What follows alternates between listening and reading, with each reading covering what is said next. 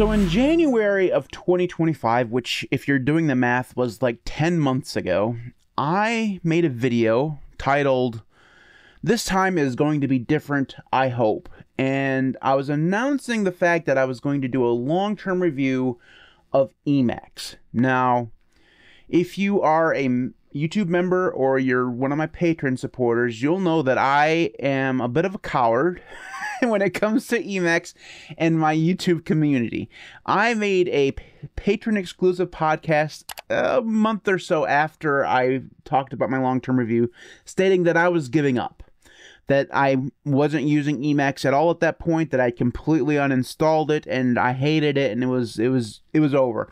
I made no further announcements about Emacs on my channel uh, in terms of a review. Now I have made a Emacs video since then about buffers and I've talked a little bit about what's going on in that video, but I've now been using Emacs full time since the middle of August. Now, as I record this, we're just starting November, so I've been using it for a few months. And initially, I wasn't really doing the long term review thing. I, I got talked into starting my Emacs journey again because of a bet. I won that bet, and I'm happy about that. So I'm uh, I could have stopped using Emacs now, but today's video is about why I finally get it. Well, kinda. I, I more should say I finally like Emacs, and I've situated myself in it to such an extent that I'm probably not leaving it behind. So let's talk about Emacs, shall we, and why I finally like it. So first off, let me get the thing out of the way. I'm in no way saying that Emacs is better than Vim. Okay, I don't believe that is true at all. In fact, I, I have gone out of my way to make Emacs function as much like Vim as possible because that's what makes me happy. I have e- evil bindings and I've created, recreated uh, Nerd Tree and I've recreated a whole bunch of stuff that I had in, in Vim and, and made it in Emacs. So I still am of the opinion that Vim is the best text editor ever. Like it's that that's it has my heart. It always will.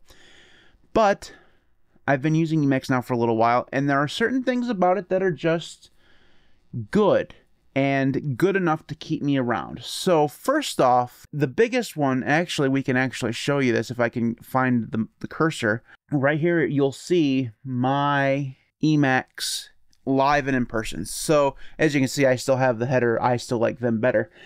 but overall, this is what my Emacs looks like. I have a, a, dashboard here. I've got the status bar along the bottom, all that stuff. But really, the things that I like the most about it are the fact that it does markdown spectacularly well.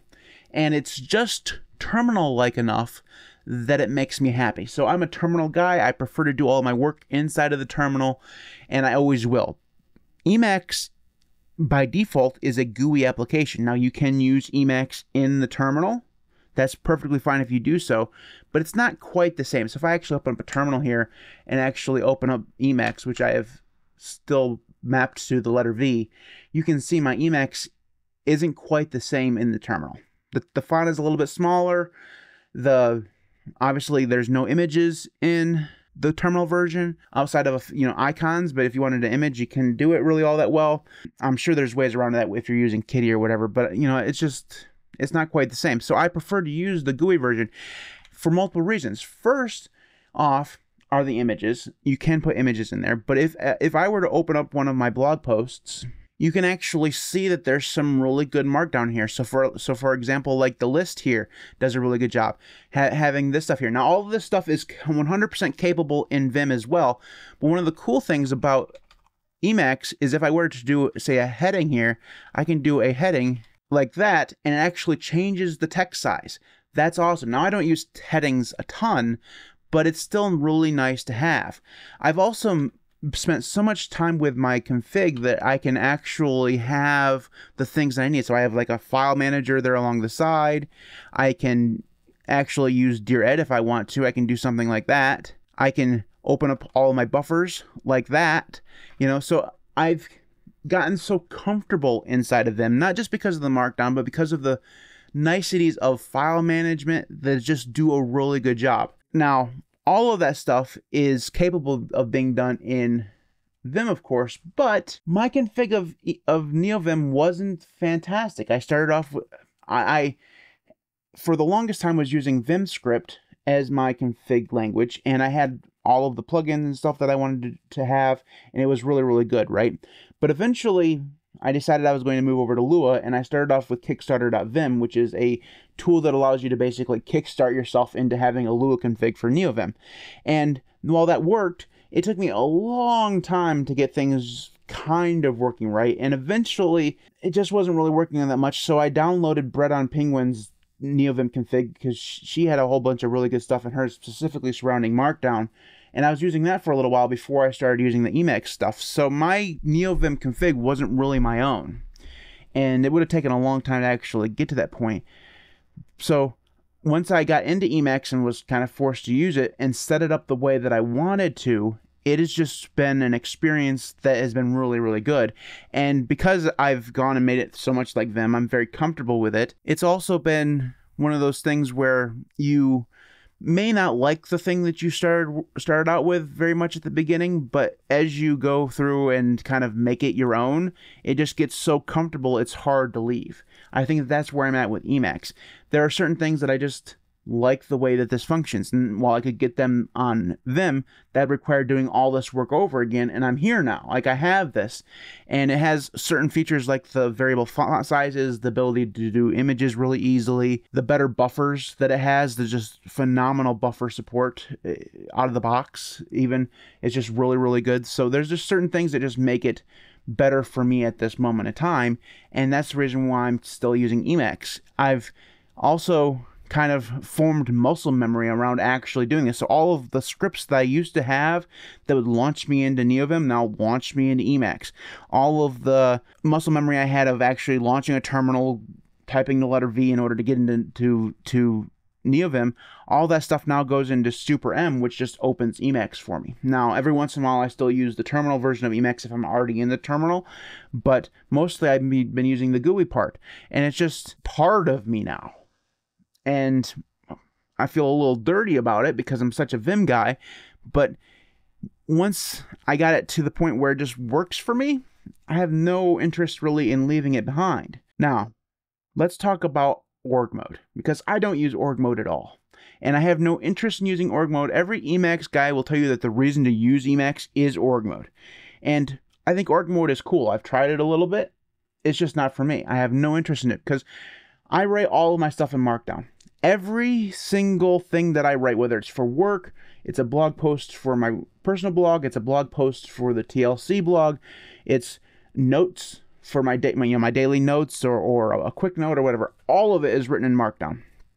It makes no sense to me to learn something else to write those things in when I'm just going to want them in Markdown again because the app that I use for my phone is a Markdown editor. So basically, if I were to use org mode for all the things that I do, I would have to learn it first. So I'd, I'd get comfortable in org mode and write everything in org mode. I'd have to find however it is that you translate the stuff into whatever you know whatever you want it into. So you, I'd want to translate it into Markdown, which is silly because I need it in Markdown. So then I would have to translate it into Markdown, get it on my phone, do anything that I want to do on my phone, and then once I got back into you know, synchronizing it back to my computer, it would then have to be translated back into org mode. Instead, what I do is I just write it in Markdown. It's synchronized through Syncthing. The phone can read it because it's in Markdown, and it's synchronized back. They they're reading the same language. You know what I mean? So it makes no sense to me to to do the org mode thing and then just have it translated into something that I'm already writing it in. And especially when I th- I feel from the little bit of org mode that I've looked at, Markdown is actually easier to do. Maybe it's just because I'm more familiar with it. I don't know. But for me personally, our Markdown is good for me in terms of it's just easier. So I'm not going to do. I'm never going to use org mode, and maybe that's a part of the Emacs experience that I'm going to be missing out on. I don't think that that's the case. I like Emacs the way that I've set it up, and I think that it's fine. So there's that. I, I know a lot of people are like, oh, you got to use org mode. You got to use org mode. I, am not using org mode. I have no interest in it whatsoever for reasons I just said. So, uh, if you are uh, upset about the fact that I'm not using org mode. I I'm sorry, but it's just the way that it, it the way that it is. So I'm an Emacs guy now. I don't know whether or not that makes me happier uh, or not because I've I've spent years proselytizing about how awesome Vim is and everything that Vim can do.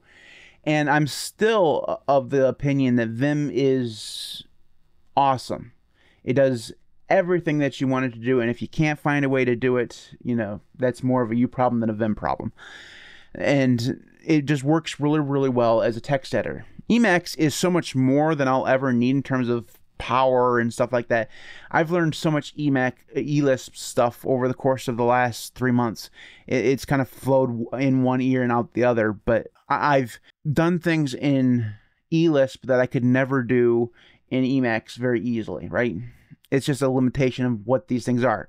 Emacs is a Lisp interpreter whereas Vim is it's a text editor that can do some fancy things with plugins, right? It's not quite the same thing. And uh, like I said, I'm just it is what it is. I'm an Emacs guy now. So the question I guess I would have to ask myself is will is there will there come a time when I will go back to NeoVim? And the answer to that question is maybe. I really enjoyed putting together my Emacs config now, I had a lot of help with that, but overall, it was a really good experience building from the ground up and understanding quite a bit of what goes on in there. There's quite a co- bit of copy and paste in my Emacs config, and there's a little bit of Claude in there that helped me out, specifically around the pywal stuff, because the pywal stuff confused the fuck out of me, and a lot of the theming stuff, which should have been my bread and butter, but I have it so complicated with my bash script and all that stuff, switching back and forth between pywal and actual color schemes that it was just too confusing. So I, I did a little AI nonsense there. But overall, I had a lot of fun building my stuff up from the ground up.